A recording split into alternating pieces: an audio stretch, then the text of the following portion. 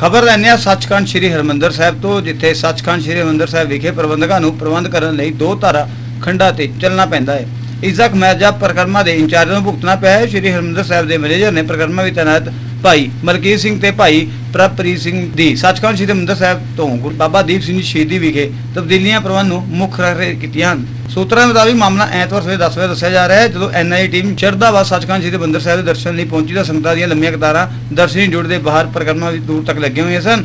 NIA ਦੇ ਅਧਿਕਾਰੀਆਂ ਨੂੰ ਦਰਸ਼ਨ ਕਰਾਉਣ ਦੇ ਲਈ ਸਥਾਨਕ ਪੁਲਿਸ ਅਧਿਕਾਰੀ ਮੌਜੂਦ ਸਨ। ਜਦੋਂ ਸਥਾਨਕ ਪੁਲਿਸ ਅਧਿਕਾਰੀ ਐਨਆਈਏ ਦੇ ਅਧਿਕਾਰੀਆਂ ਨੂੰ ਲੈ ਕੇ ਦਰਸ਼ਨੀ ਜੋੜੀ ਦੇ ਕੋਲ ਪਹੁੰਚੇ ਤਾਂ ਸੰਗਤਾਂ ਦੇ ਵੱਡੇ ਇਕੱਠ ਹੋਣ ਦੇ ਬਾਵਜੂਦ ਛੋਟੀ ਲਾਈਨ ਖਾਲੀ ਨਾ ਹੋਣ ਕਰਕੇ ਮੌਕੇ ਤੇ ਮੌਜੂਦ ਪ੍ਰਕਰਮਾਂ ਦੇ ਦੋਵੇਂ ਇੰਚਾਰਜਾਂ ਨੂੰ ਸਹੀ ਪ੍ਰਬੰਧ ਕਰਨ ਦੀ ਗੱਲ ਕਹੀ ਗਈ।